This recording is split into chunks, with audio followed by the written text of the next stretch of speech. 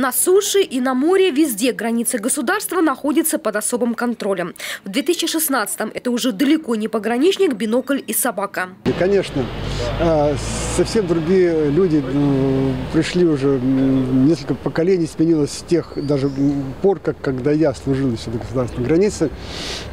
Вот. Сейчас э, более подготовлено, более про- более профессионально, потому что а, сейчас применяется совершенно современная техника в охране государственной границы. Сейчас это суперсовременные технические средства охраны госграницы. Например, сигнальный комплекс «Радиобарьер МФ». Сейсмический датчик, который срабатывает непосредственно на нарушителя государственной границы. При заходе в зону срабатывания датчика происходит сигнал тревоги непосредственно на э, пограничный ряд, а также на пульт оператора дежурного по связи и сигнализации. Данные технические средства, они малогабаритные и быс- быстрые в развертывании.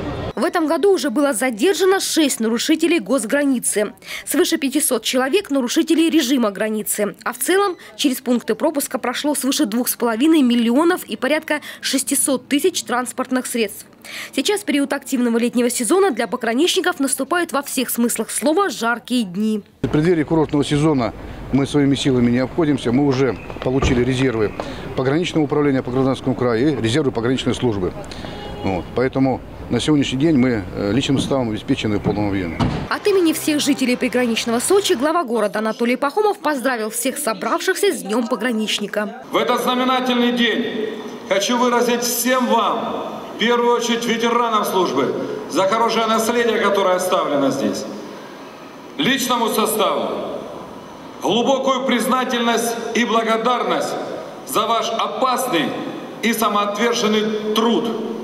Крепкого вам здоровья, счастья, мира и благополучия. С праздником вас! С Днем пограничника! К поздравлениям присоединился и член Общественной палаты Российской Федерации, директор Института стран СНГ Константин Затулин. Это люди, которые первыми встречают трудности, первыми встречают врага, если враг собирается напасть на нашу страну. Первыми в бой вступают всегда пограничники. В этот день обычно у нас в семье был праздник. Я вырос в семье пограничника, который 35 лет отслужил на границах Советского Союза в Закавказье, в Средней Азии. И сегодня праздничный концерт разбавило событие, яркое по своей эмоциональности, особенно для юных сочинцев. Их приняли в ЮДП. Это отряд юных друзей пограничников. Всегда бдительность проявлять. А сразу после выступления на сцене Зимнего театра сочинских коллективов все желающие могли попробовать на театральной площади гречневую кашу из полевой кухни.